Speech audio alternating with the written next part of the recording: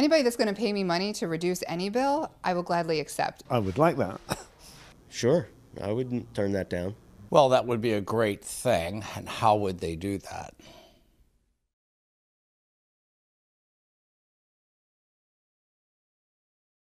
I see my bill every month going up.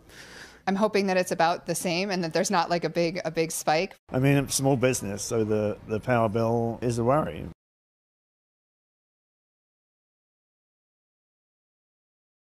Stop having people call me.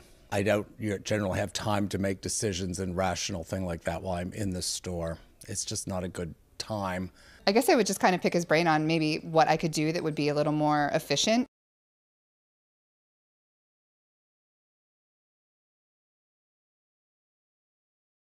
Probably invest more in equipment and uh, resources that we need.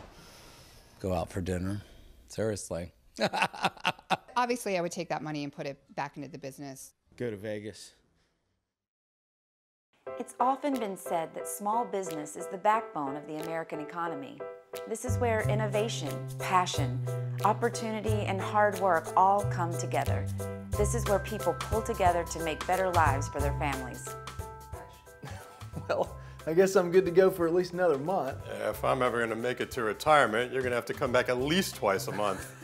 Bill and Jim have known each other for years. They're neighbors, friends, and their kids go to school together. They work at small businesses, are saving to put kids through college, know what it's like to live on a budget and manage a business in today's economy. Hey, Brenda. How are you doing? Hi, Jim. How are you? Good. I see you have your iPad. Are you doing an energy audit for Bill? Yes, indeed. We're going to brighten up the lights in here, and we're going to help Bill save money on his power bill. Great. Maybe if you help him save enough, he can lower the price of his haircuts. nice. So you two know each other? yeah, Brenda did an energy audit for us out at the dealership and is saving us a bunch of money. Really? How so? Well, I have to admit, I was a little skeptical. She came into the dealership with an iPad saying she can help us be more energy efficient, save us money, and give us incentives to implement a custom energy efficiency plan. Sounds too good to be true. Right? That's exactly what I thought. There has to be a catch somewhere. But they made it easy for us to save money. Brenda did a thorough energy audit and started making suggestions. What really impressed me was how much she knew about our business right out of the gate.